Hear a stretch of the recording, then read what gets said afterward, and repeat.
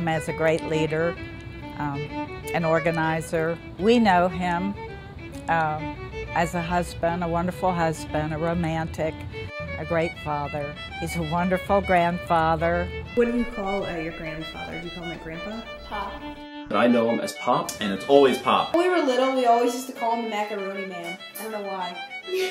He's funny. I mean, he's just a funny guy. Funny.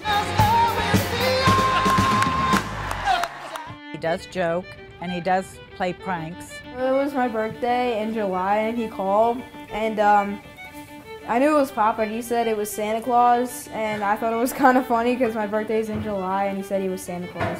He did wonderful things uh, for dates. He would um, unexpectedly just start serenading me. I faced it all, and I stood tall,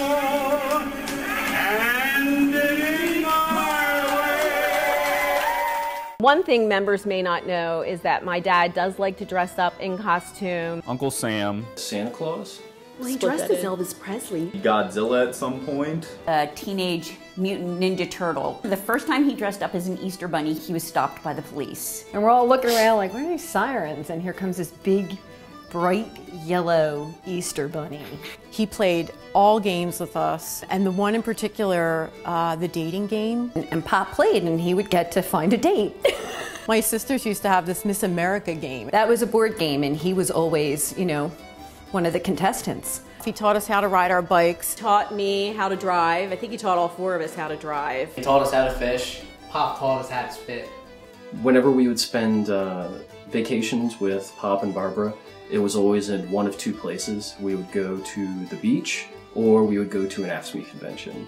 I don't know when I really understood what AFSCME was because AFSCME has always been there. It was just a part of our lives. I think he treated it like one of his children or his grandchildren. He treated it with that much love and that much respect and that much dedication. Here I have uh, my, as a child, artistic rendering of an AFSCME convention.